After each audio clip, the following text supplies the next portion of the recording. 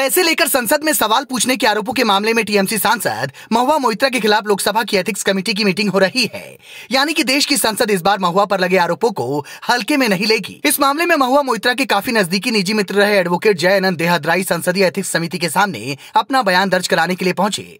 इस मामले में शिकायतकर्ता बीजेपी सांसद निशिकांत दुबे ने गुरुवार को कहा की मेरे पास जो भी जानकारी है, मैं वह कमेटी को दूँगा। वे पूछेंगे हमसे और हम जवाब देंगे। कागज़ झूठ नहीं बोलता। अभी जवाब ये है की महुआ चोर है या नहीं। इससे पहले दुबे ने ही तृणमूल सांसद महुआ मोहित्रा पर पैसे लेकर संसद में प्रश्न पूछने का आरोप लगाया था। इस संबंध में बीजेपी सांसद ने 15 अक्टूबर 2023 को लोकसभा स्पीकर ओम बिरला को शिकायत भेजी थी। निशिकांत दुबे ने लोकसभा अध्यक्ष ओम बिरला को दी गई शिकायत में देहाद रई की तरफ़ ऐसी शेयर की गई डॉक्यूमेंट का उल्लेख किया था। दुबे ने लोकसभा अध्यक्ष को लिखे पत्र में आरोप लगाया था की महुआ की तरफ़ ऐसी लोकसभा में हाल के दिनों में पूछे गए इकसठ प्रश्नों में ऐसी पचास अडानी समूह आरोप केंद्रित थे। इन सारे सवालों के बदले महुआ ने खूब पैसे लिए। इस मामले को लोकसभा स्पीकर ने बीजेपी के सांसद विनोद कुमार सोनकर की अध्यक्षता वाली आचार समिति को भेज दिया था।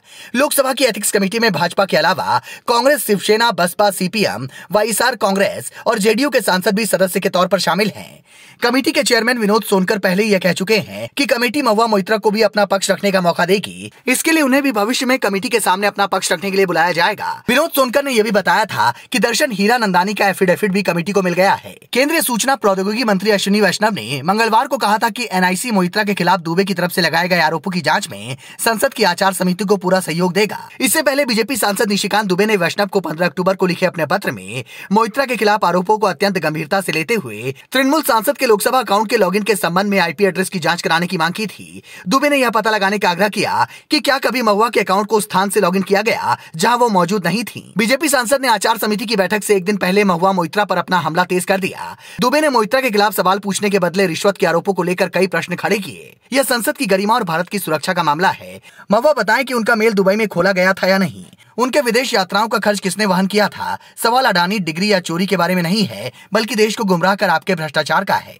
तृणमूल कांग्रेस के सांसद मोइत्रा ने आरोपों को खारिज कर दिया है। मोहित्रा ने भी अपने पूर्व निजी मित्र एवं वकील जय आनंद देहादराई पर भी निशाना साधा।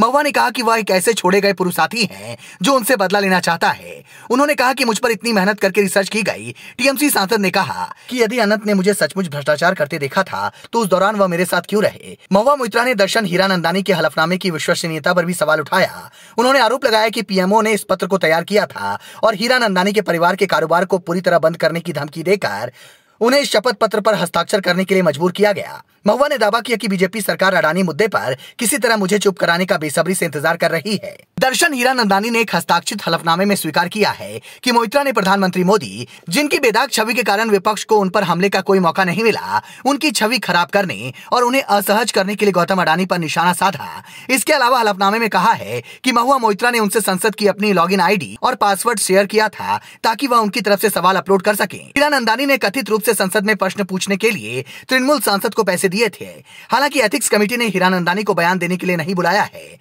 जब से महुआ और उनके कारनामों का पता ममता दीदी को लगा है, वो बेहद गुस्से में है। और हो सकता है कि दीदी महुआ को टीएमसी से बाहर का रास्ता दिखा दे। Bureau report, leading Bharat TV.